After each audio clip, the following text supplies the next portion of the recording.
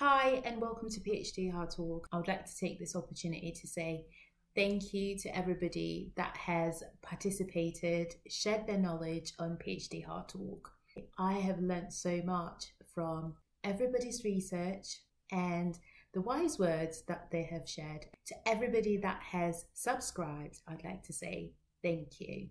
And I am so excited for 2022 to learn more and share more. To say thank you, there is a little video with everybody's faces on it.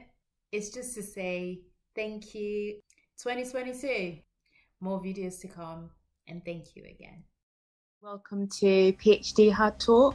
Today we're here to find out about your research. I'm going to start by using loads of technical terms and then I'm going to explain them. Brilliant. My uh, PhD looked at electron backscatter diffraction. So it's not like a linear. We're looking at a circular. You get that? Yeah, the circle of life. Lion Yeah, King. if you say that, you can say that. I'm now thinking to myself, that's not really micromanagement because I need to see what you're doing. No, I get that. And it's the dynamics in the nature of the kind of work. There's a lot of cultures, religion, etc. I'm already like, wow. So where are you focusing? The plan is to look at Kashmir. Having a high biodiversity being a sign of a stable environment indicates to us that there might be some resilience to overcome climate change effects. Brilliant. So you are giving back in terms of the community in that way. So it's not only about being pragmatic, it's also about just follow whatever brings you joy, even though you don't know where it's going to take you.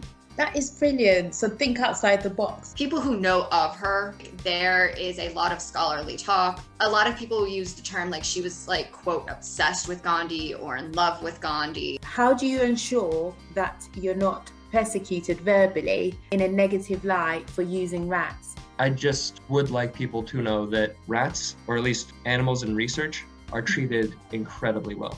And this topic uh, actually appeared only at the end of 20th century. So it's less than uh, 30 years old. Oh, wow. Not only can it be used in math or in finance, you can also use in sociology. Basically, you want to ensure that your research is used and it's not just locked up in a library.